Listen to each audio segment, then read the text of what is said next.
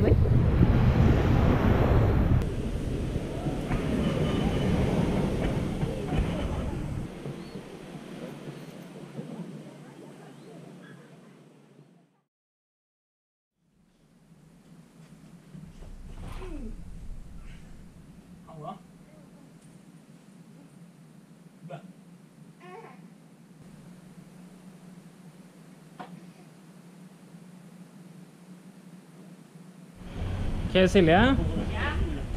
Hvordan vil du oppsummere Martinique? Martinique var eh, bra. Borte fra en by hadde ikke så mye å by på. Ja, strendene var ti av ti. Vegetasjon og liksom Ja, øya var fin. Eh, jeg ble spesielt positivt overraska over den siste stranda vi var på. En stille oase. En liten bukt som vi nesten hadde helt for oss. Det er mange som bare snakker fransk, og de er sur og grinete. Og byen heter Eh, jeg vet faktisk ikke hva byen heter. Val Arbitre. Foreløpig syns jeg det minner litt om Martinique. Ja. Det er ikke så rart, det er jo naboøy nesten. Og eh, fransk begge deler.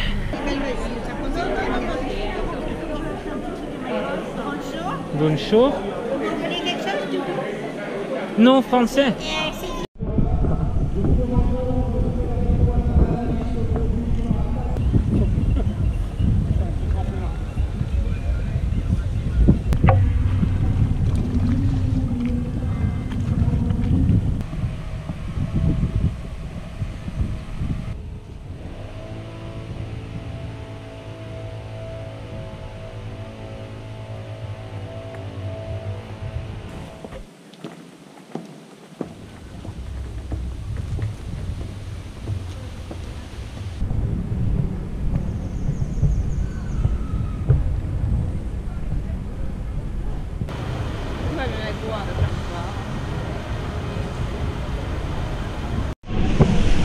Gillibor. Here we go. I'm so scared. okay. Yeah.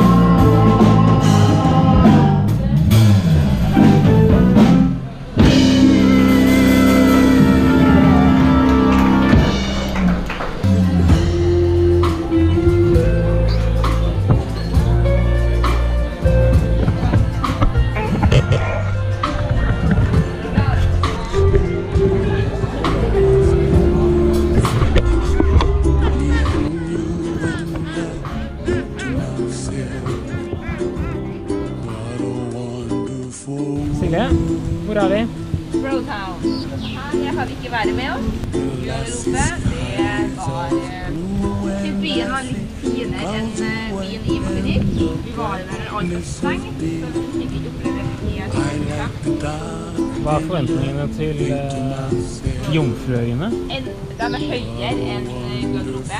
Vi får en de er britisk. Snakker fransk. Og så må vi jo si eh, du har på deg en flott kjole. Jeg har kledd meg i uh. Som går under knærne. Det er mer en, en værgrunn til det. Her på Jomfruøyene er vi konservative. Her går vi ikke med slaskete tøy. Er briter og går ordentlig kledd. Det kan vi like. Vi ser det er ikke alle som eh, følger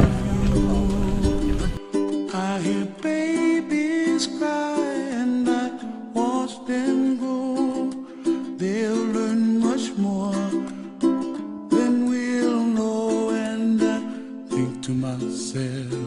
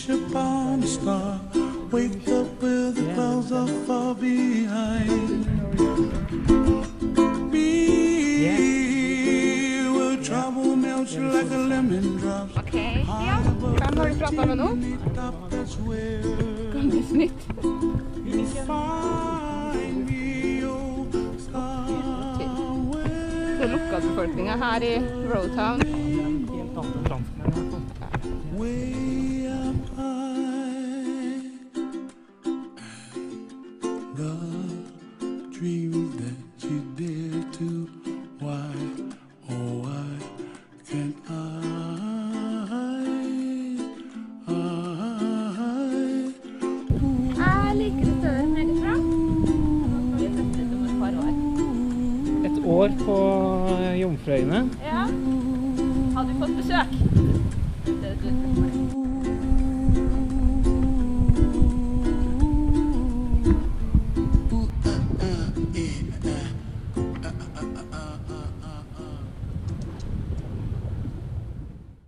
Det er Silje. Billeboy. Hva er det du lurer på? Ny dag. Nye muligheter? Først to ord om eh, Jomfruøyene. Det var bra. Jeg må jo gi egentlig ni av ti pga. at vi har litt uheldig med været. Stedet var ni av ti. Kunne vært litt enda flere butikker, litt mer sånne kjente butikker sånn. Men Philipsburg, som vi skal inn i nå, har kun drøyt 1000 innbyggere. St. Martin er et land, la det være sagt, på lik linje med Det er sidestilt med Nederland. Her er det flere cruiseskip, ser vi.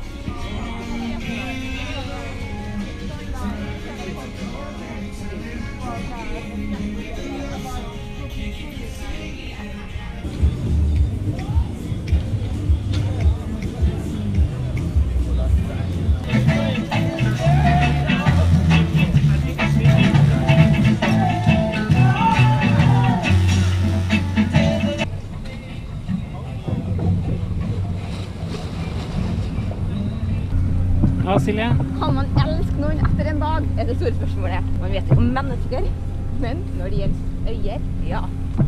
Si hva du mener. Nå husker ikke jeg hva jeg har eh, sagt, hva jeg ga de andre øyene. Eh, Men jeg gir den ni av ti. Ni av ti? Ja, men den har jeg gitt den andre ni av ti, så kan ikke det da stemme. Da må den nedjusteres. Eh, For den her er definitivt best. Og det eneste som gjør den ikke for ti av ti, er at de kanskje, som vi snakka om, er litt for vant med turister, og at de kan være litt Ja, men det var Men det slutta, da. Det Der var jeg en litt, ja, for jeg var litt negativ, men det er utafor cruiseterminalen. OK. Nei, enig. Men uh, det er skummelt å gi det ti av ti, for ikke sant, det kan jo være Ok, men foreløpig ti av ti. Egentlig, ja. Jeg mener det. Ja, jeg òg mener det. Jeg var veldig fan, og så kom vi til den uh, strandpromenaden, og da smelta hjertet mitt. Enig. Det, vi liker de samme tingene. Og strandpromenaden gjorde at siste steget opp hadde Thank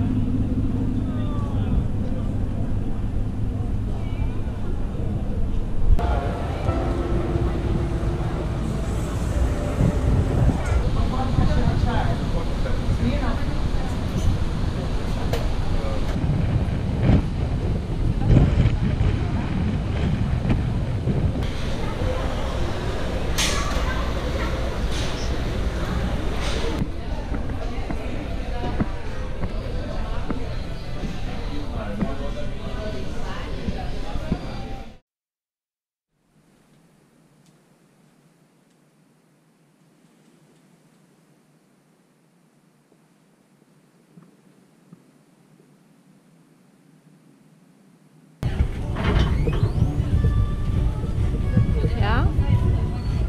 Hvor er vi nå? Jeg vet aldri hvordan jeg uttaler det, men Ros Rousseau, Rousseau, Dominica, Dominica. Og hvor går ferden? går til Trafalgar Falls på jakt etter fossefall. Da er vi klare. Er vi Så klare. dere hører fra oss.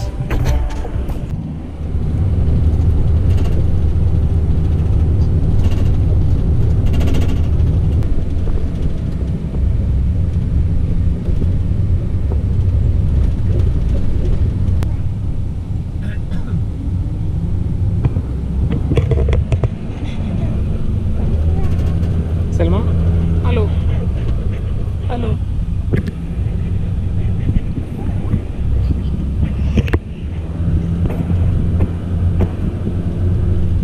Ok, da er vi i skauen. Hvordan går det med dere? Vi har full kontroll. Full kontroll. Hva syns vi om Dominica så langt? Vakkert og ikke helt utvikla. Så er de jo for så vidt unnskyldt med at den orkanen har herja her òg. Irma i 2017 har forandra samfunnet. Here's a guide. What's your name? Leo. Yeah, Leo. Leo. Really, my nephew's name is Leo. Your nephew's name Leo. Yeah. Mhm, All the water here is so cool and nice. They test it.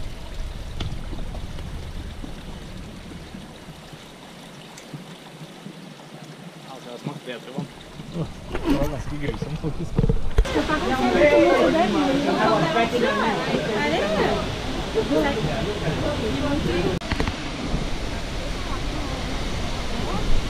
Vamos ao.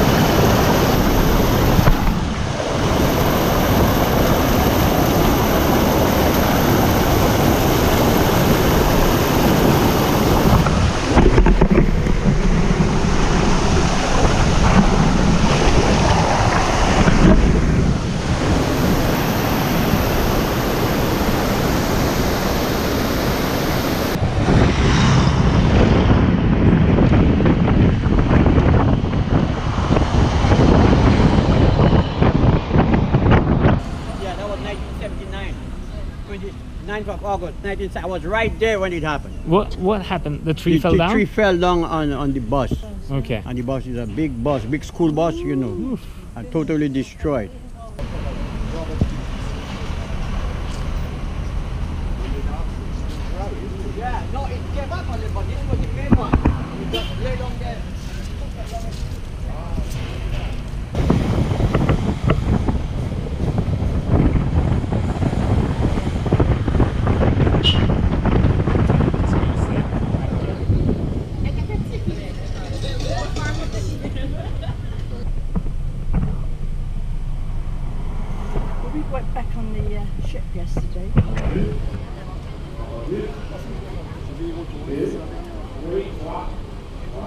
Silje,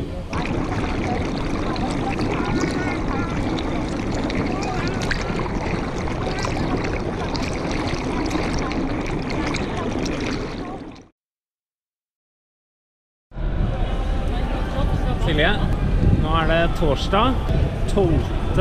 mars. Vi er Basseterre, St. Kitts and.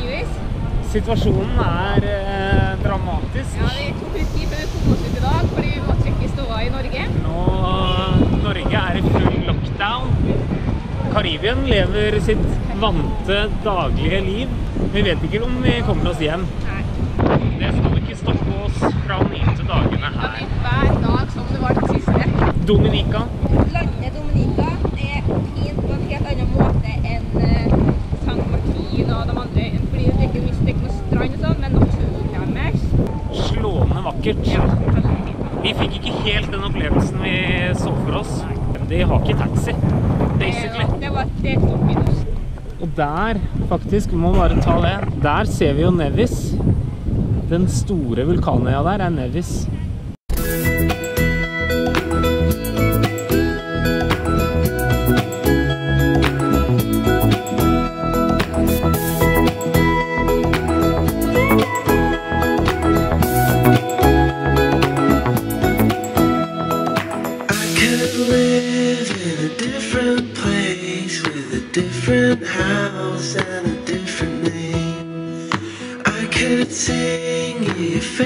Favorite song, yeah, you'd sing along, you'd sing along. I could wrap you in your favorite clothes and kiss your face just so you know